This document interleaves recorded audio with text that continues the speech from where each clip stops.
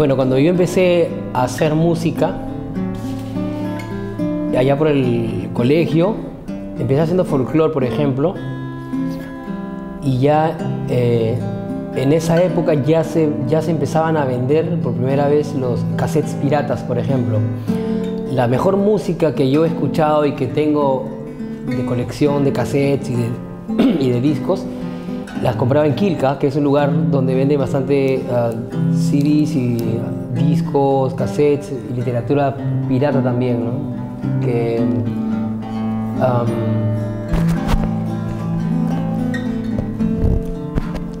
digamos que pude acceder a, no al mercado formal de, discotecas, porque no alcanzaba la plata.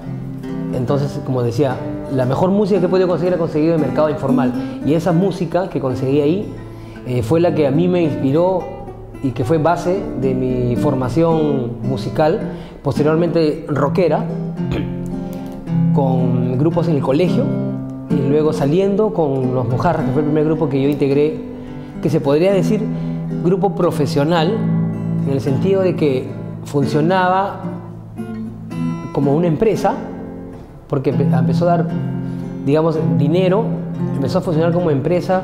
Nosotros uh, tocábamos, estábamos como, en planilla, por decir, y um, empezamos a hacer bueno, giras por el interior del país, inclusive una al extranjero, Alemania, en el año 96.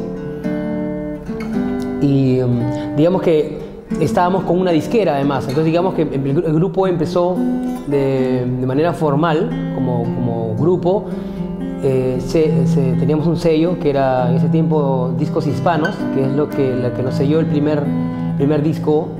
Porque el primero fue un, un cassette autogestionado que se vendió de manera informal y se metió en los circuitos tipo universidades y esto se llamó Sarita Colonia. En ese tiempo todavía no estaba yo, yo entré justo a los dos años nomás de haber creado ese grupo.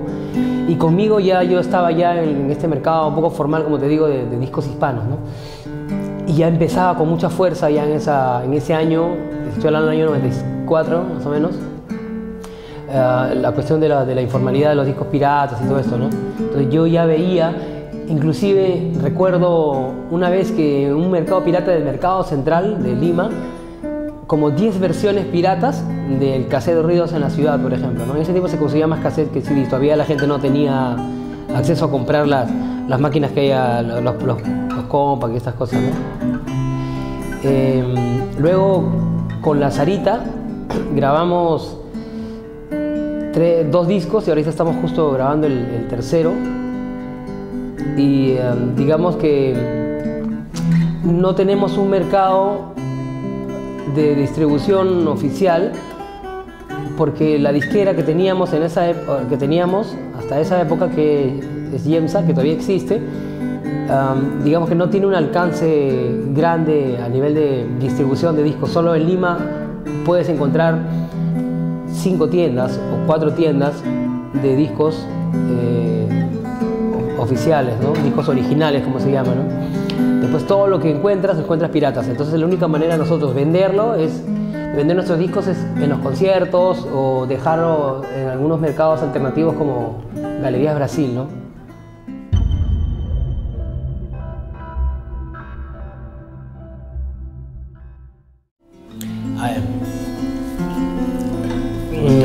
En general, yo me considero un músico, un artista que, en realidad no espera más que de repente el reconocimiento, más que la satisfacción económica, que puedo decir que aquí todavía en el Perú, en este mercado tan pequeño que tenemos de compra de discos por la cuestión de la informalidad, eh, digamos que no he tenido una satisfacción económica grande. Es difícil vivir de la música aquí, a pesar de que puedas trabajar de manera por decir profesional. Las satisfacciones que me ha dado los mojarras y la zarita yo creo que ha sido a nivel o sea, humano. Es, la gente me reconoce, la gente que me reconoce en todo caso, lo hace porque justamente he integrado e, y sigo integrando dos grupos que también pueden ser como que el antigrupo porque en un país donde cantar cosas de corte social y, denunciar algunas cosas como lo hicimos con los mojarras y luego con las aritas, sobre todo en el primer disco, de hecho es una cuestión que no da, no, da plata, sino más, o sea, nunca pensamos en una satisfacción económica, pero sí el reconocimiento de la gente que me conoce, eh, de, ser arriesgado, de poder haber llegado y tocado en, escenarios con grupos de afuera y ponerme así como que, o ponernos en el mismo nivel de esos grupos grandes. Eh, yo creo que ese es el reconocimiento que tengo de, los dos grupos que he integrado, que sigo integrando, más que todo el reconocimiento del músico arriesgado y que además trabaja con cosas y elementos, a pesar que toco guitarra eléctrica, con elementos um, siempre, siempre llevo presente al Perú, a la onda social, inclusive en el, inclusive en el toque mismo, ¿no? La cuestión de la chicha, que la tengo bastante arraigada del tiempo de los mojarras que escuchaba mucho cuando prácticamente vivía en el Agustino, ¿no? En el año 94, 93, 94, 95, 96. Y ahora como trabajando ya proyectos personales, proyectos en mi, estudio de sonido, también eh, he logrado ser reconocido, inclusive mucho más que con, con Lazarito y con los Mojarras, eh, con trabajos también de este corte, ¿no? cosas para documentales, cosas que he hecho para series, me llaman inclusive para, para musicalizar. Eh, me llaman como que el músico de fusión, que conozco bien el rock, tanto el, por un lado, y también la, la cuestión pues, de andina, la cuestión del folclore, sea de la costa, sierra y selva, ¿no? sobre todo de la costa y sierra. ¿no? Pero me llaman como que Martín Choi es el músico de fusión que puede inclusive llegar a ser una, una o sea, puede integrar bien y de forma natural. Justamente por este background que he tenido de, de los mojarras y las aritas, ¿no? el tanto escuchar chicha, el haber tocado guainos en el colegio, yo tocaba, como te digo, folclore, tocaba charango, tocaba bombo, con mi hermano teníamos un grupo también donde hacíamos música este, latinoamericana, por ejemplo, también. Entonces digamos que conozco bastante del, folclore latino, de Sudamérica, y, después cuando ya empecé a tocar rock, como que digamos que he podido encontrar el punto de equilibrio entre esos dos este, ritmos, estilos.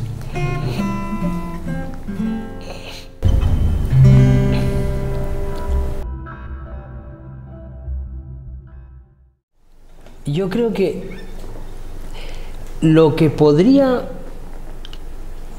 matar en general, no sé solo si un grupo de rock, sino en general cualquier, cualquier proyecto que se, que se inicie con gente, yo creo que es las ganas de, la, la dejadez que tenemos, digo tenemos también, porque a veces pasa, de dejar las cosas para hacer para después o a última hora, ¿no?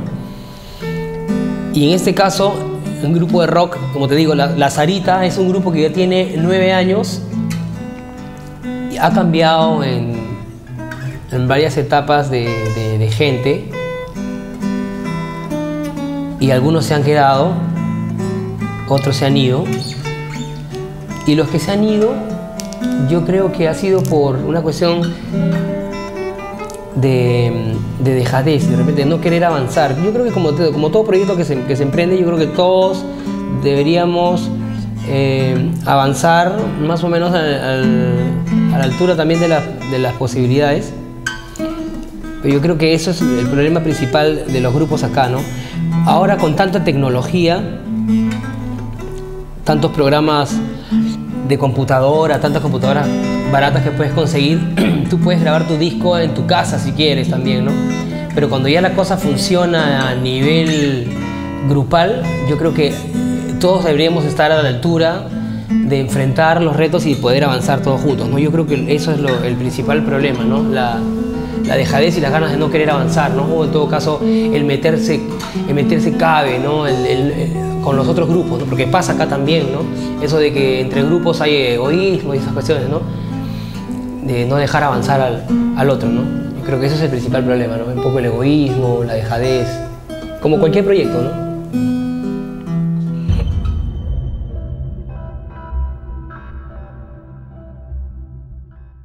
Si no fuera por la piratería, los Mujaras y la Sarita, y los Mujaras y la Sarita no fueran tan conocidos en provincia, por ejemplo, en el interior del Perú.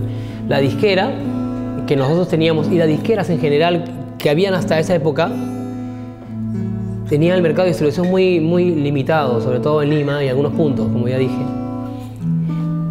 Entonces era difícil que tú podrías, que puedas ir, por ejemplo, a hacer promoción a Arequipa, Cusco, ciudades grandes, aparte de las de Lima, porque no conocían la música. Entonces tú tenías que ir con tu material, pagarte tu pasaje, pagar el pasaje y hacer todo tu, chama de promoción en las radios y regalar tus discos, que además se los tienes que comprar todavía tú.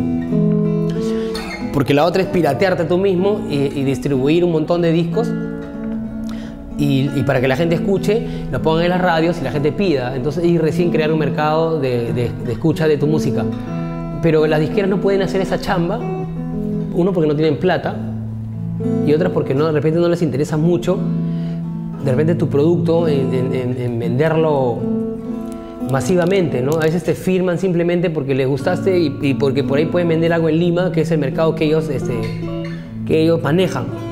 Entonces para mí ha sido una sorpresa grande ir, por ejemplo, a mercados eh, del interior y chequear en, las, em, en los sitios donde venden discos informales también, tus discos piratas, tus cassettes piratas y la gente conoce además. Y, los conciertos con bastante gente. ¿Por qué? Porque la gente ha escuchado y ha comprado ahí en ese mercado.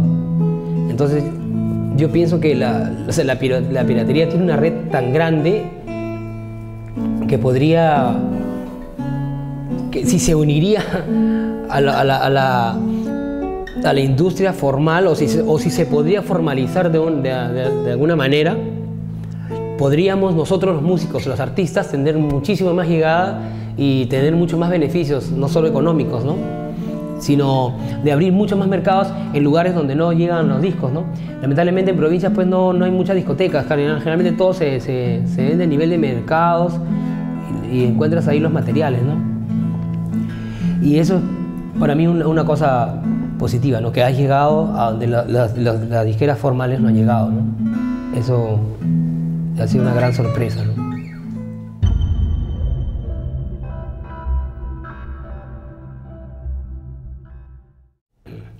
Mira, justo hace una semana o dos semanas ha quebrado una empresa que, que se encargaba de eh, multicopiar discos. Y era una empresa que además distribuía discos. Una empresa grande, acaba de quebrar porque la piratería se la comió.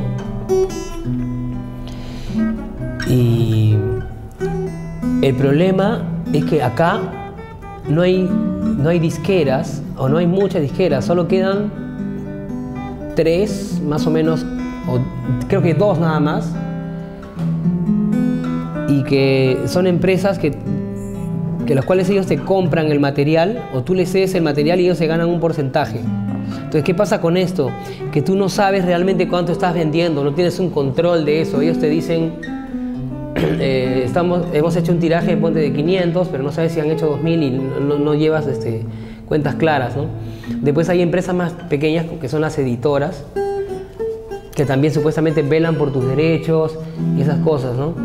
Pero igual, no hay un control o no hay una auditoría han pasado casos de, por ejemplo, un cantante conocido acá que descubrió que igualito le, dijeron que habían vendido una cantidad y era el triple y se enteró después y todo, todo un problema legal. Con nosotros pasó algo parecido, pues una, una empresa de cine acá hizo una película y utilizó dos canciones nuestras de La Sarita sin pedir permiso. En este caso nos tienen que pedir permiso, pero nuestros representantes son la editora. En este caso es una editora que era de la, disquera. Entonces, esta editora que vela por tus derechos vio la película y le contaron de que habían dos canciones que estaban ahí y que no habían pedido los permisos respectivos.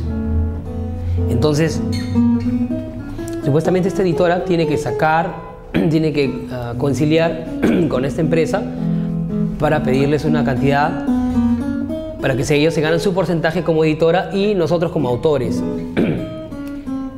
Pero nos enteramos que esta empresa editora eh, nos había falseado los números. O sea, dijo como que había sacado una cantidad X en general de esas dos canciones a esa empresa de cine, pero en realidad era el doble.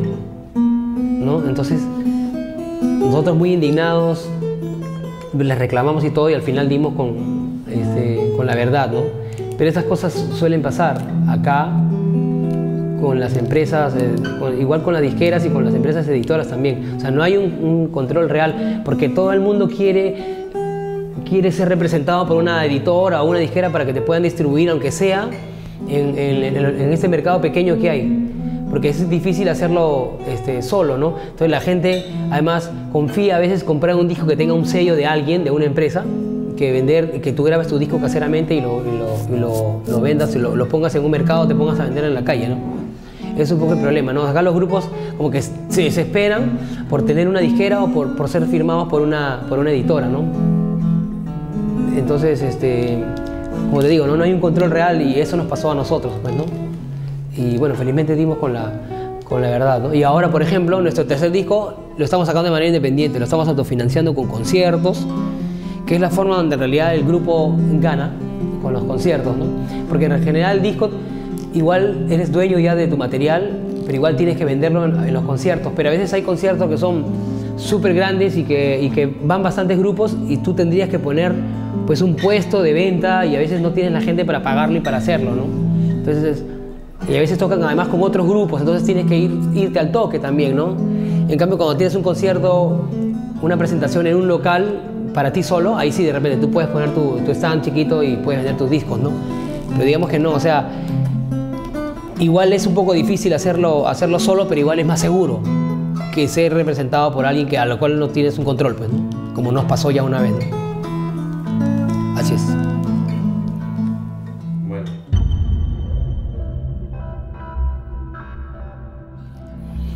Ya hace, hace algunos años el Perú está como que en, los ojos del mundo, es un país de ahora de cumbres de presidentes, es un país de grandes encuentros eh, hasta futbolísticos. Entonces, hay una revaloración y hay una, hay una mirada em, que me ha sorprendido estos últimos años en general a todo lo que es peruano la comida, por ejemplo, en el mundo está, que yo sepa, eh, en un nivel muy alto. Hay una cultura acá que yo puedo llamar como que la cultura Gastón, que es este chef, que él ha puesto en el mismo nivel al carretillero que vende anticuchos con el, con, el mejor eh, restaurante de, de carnes, este, el más ficho de Lima, por ejemplo, los ha puesto en un solo nivel. Los dos son comidas, los dos son rescatables y los dos son deliciosos y los dos son ricas. Algo así está pasando con la música y además se quiere hacer con la música a partir de, de los mismos grupos de ahora. Hay un intento por profesionalizarse, por, por, por ver, mejorar la imagen, también mejorar la calidad de los instrumentos y todo, por eso es que ahora, por ejemplo, vemos en, Alcanfores, si no me equivoco, en Miraflores, ya no hay una cuadra de, venta de instrumentos, de importación de instrumentos este, eléctricos. Ahora hay como tres y hay una manzana a la vuelta. ¿Qué significa? Que la gente y los chicos están invirtiendo dinero, está entrando plata además al, al Perú y, la gente tiene un poquito más de poder adquisitivo y está comprándose mejores instrumentos. Al mejorar tus instrumentos significa que quieres mejorar tu calidad, de hecho va a mejorar tu sonido también. Y, eso se ve en grupos, por ejemplo, como ya hay grupos que han ganado premios en MTV, hay varios.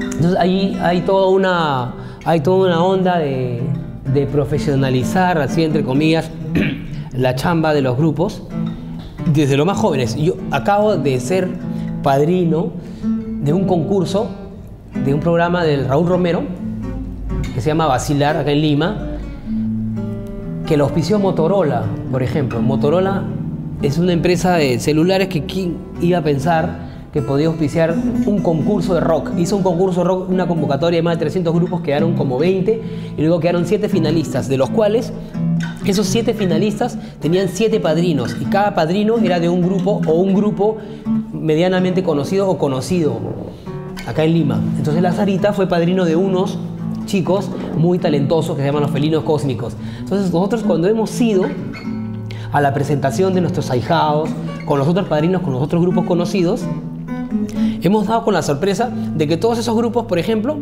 todos los chicos, eh, se, preocupaban todos por la imagen, por ejemplo. Entonces uno puede decir, eso no tiene nada que ver de repente con la calidad, pero eh, contrariamente a eso, tú ves que no solo se han preocupado o se preocupan ah, por, por, por, por mejorar este, solo la, la cuestión visual, sino que en cuestión de instrumentación, por ejemplo, van mucho más equipados, como te digo, están entrando bastantes muy buenos instrumentos y cómodos también.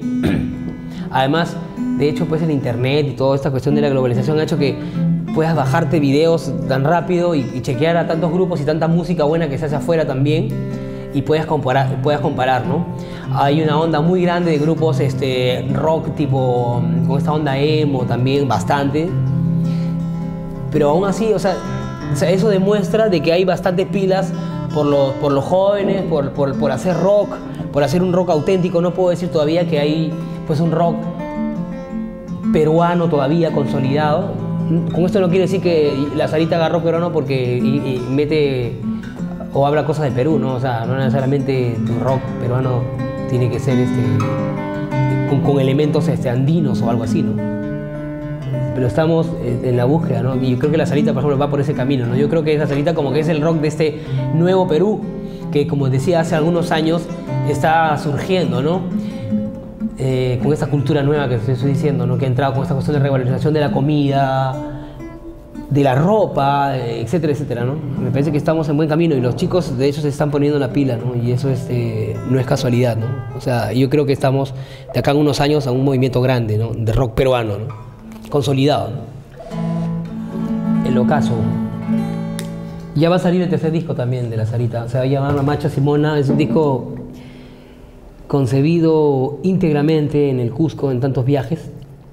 Lo hemos estado grabando, es el disco que ha demorado más, bueno, tenemos como un año grabándolo, pero justamente es una cuestión que queremos hacer y nos ha costado, es, es autogestionado. Esperemos que el otro mes, en julio, ya esté saliendo. Mamacha Simona es un apu, un cerro del Cusco protector. Y digamos que este disco está dedicado a ella, nos encomendamos en los conciertos también. La Sarita tiene otra formación. Han cambiado algunos integrantes. Y esperemos que no se pierda la esencia. Estamos en eso, ¿no?